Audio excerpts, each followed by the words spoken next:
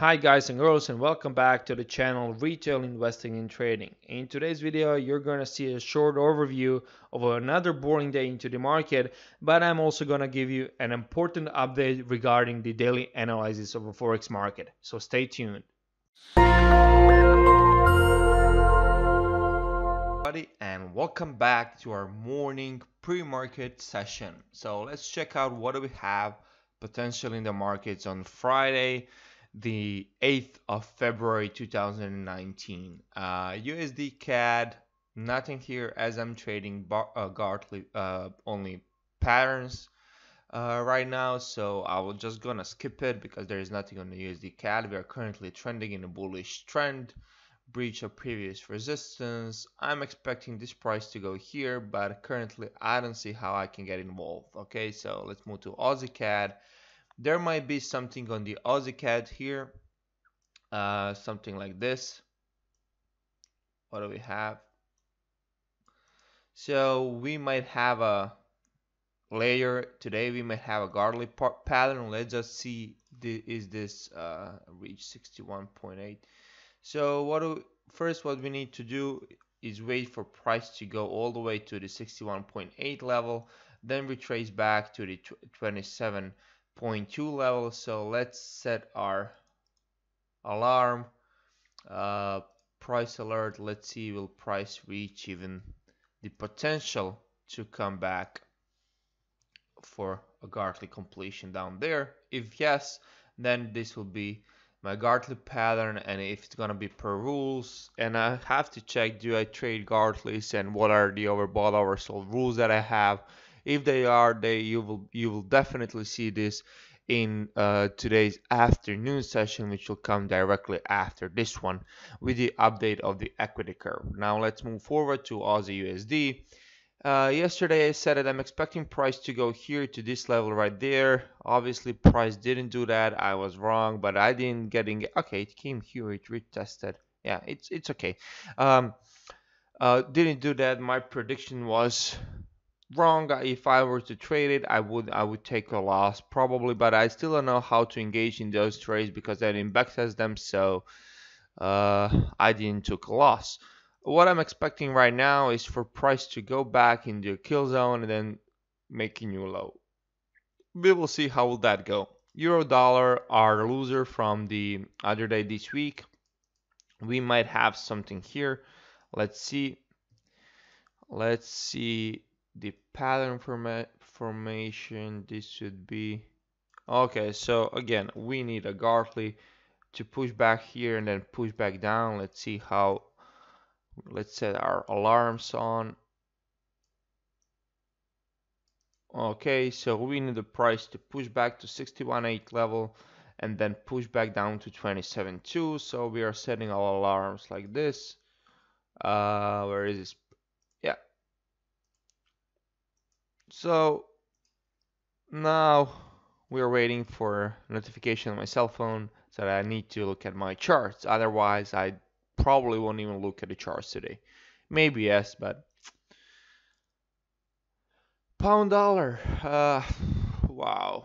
So we are still in a bearish trend. Uh, we didn't breach our previous outside return. Yeah, we just spiked through it. So probably price could give us a nice uh, double top then rally down but I don't know let's see this. Yeah nothing here nothing there's just nothing here. I will take a peek at the charts today just to see what pound dollar is doing and pound yen our yesterday's winner very similar movement to the pound dollar uh, currently yeah, we also would wait for price to go back down to the 50 level and then uh, reverse back up and not to reach our A point, X to A, A to B, B to C, C to D, and waiting for a pattern here. Whatever whatever happens, I will also see throughout the day how the price on pound yen is acting. And with that being said, that brings us to the end of our morning session. Guys, the one, the one thing that I want to share is uh, it's 4:30 here on a timer, uh, not in the morning. Actually, it took me four minutes to record my pre pre-market analysis, and then throughout the day, at the end of the day, it takes me another 10 or so. And yet, my system, if if traded correctly, and we will see in this first live year, uh, produces around 20, maybe up to 30% return year on year for a year worth of work that I did last year. So just imagine spending 20 or something minutes per day setting up your trades and then leaving the charts. You know, trading isn't all about sitting in front of your charts uh, for eight hours per day and making uh, I don't know how many pips. It's all about backtesting everything, setting up your trades, and then letting letting them go. That's that's what I kind of start start concluding all, about all of this stuff because that that it's cool. You set it up, you know what you can expect, you know what what your expectancy is, then you just set your trades and you shouldn't care about the outcome of the trade because the process is what you do each and every day is correct. Anyway, that's somehow a rant there, but with that being said, click that like button, click that subscribe button, and smash that bell button. Help that YouTube algorithm rank our videos a little bit more higher. Also, if you have any questions whatsoever, click that comment and comment below. I'll try to answer as soon as I see it. Um, yeah, that brings us to the end of the morning session, and in a few seconds, the afternoon session will start. Thank you very much, and talk to you soon. Bye bye. Hi, guys, and welcome back to the afternoon session. As I said in the morning, there's nothing much on the radar. There was nothing much on the radar today. Uh, I did added something to my template uh, as my as my system consists of uh, maximum 75 risk and some additional filters like overbought and oversold, RSI, 7030 and 8020. I added it to uh, every chart that I have in front of myself so that you can see them as well. Okay, so here on the USD CAD, I can trade just bats. There is nothing in front of me, uh, as we said in our morning session. So let's move forward. Aussie CAD, uh, there was a Gartley today, which turned out to be profitable. Uh, this is the Gartley, as you can see. Let me show you if you don't see it. X to A, A to B, B to C, C to D completion right there, and it hit our targets one. Uh, our one time frame as you can see here. Uh, did candle this would be our targets one here. Currently it's uh, in position for targets two.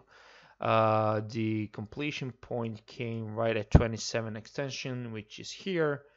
So yeah it made you know few uh, 20 or something pips but it was out of our trading plan because yeah my trading plan said to me that I should not trade Gartleys on Aussie CAD Aussie USD, there was a thing forming on I cannot trade bats on Aussie USD, but I can trade Gartleys. However, we had a, a bat here. Look, a bat forming, still forming. It's out of my trading time frame, uh, time zone right now, but there was a bat forming here.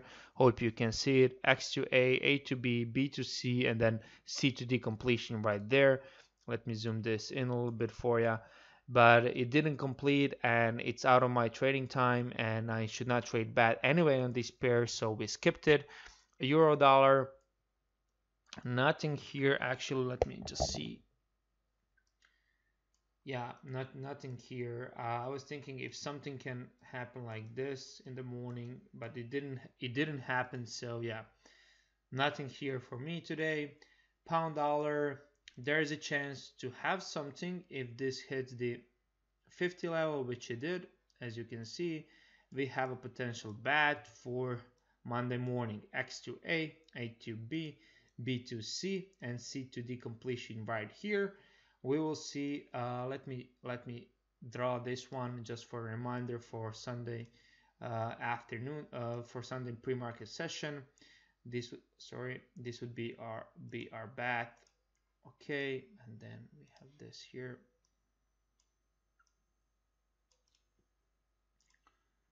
let's make it really yeah so that that would be a bat now let's let's see what price will do uh well in the Asia session on Monday, basically Sunday, Monday. Okay. Uh, if this is gonna happen, uh, I need I the price action, the RSI should not go below uh, mine below 20. If it doesn't go, then I will put my pending orders. If it does go, I will cancel them. That's it's that simple. Pound yen, uh, very similar movement as to just like the pound dollar. However, we didn't touch the 50 level here, so we don't have even potential bat. So I'm still waiting for something that I that I see currently. Nothing for me. With that being said, guys, uh, this was a very a boring uh, day, and if if there's nothing that will happen in my in my morning session and in the afternoon session throughout the day, there's a high chance that I won't be uploading a video because there is nothing to share. However, if I uh, if I see some kind of action, just like uh, if I set my pending orders, then got canceled or whatever, or maybe got triggered in an order, then I will upload the video. But uploading just blank content doesn't make sense to anybody. So just so you know, if I didn't upload anything uh, in a day, chances are there was very boring thing, the boring day, and I there was no action for me. I didn't get triggered into any trade and stuff like that. With that being said, click that like button, click that subscribe button, and smash that bell button. Again, guys, I'm just joking. Thank you very much for staying until the end of this video and talk to you soon. Bye bye.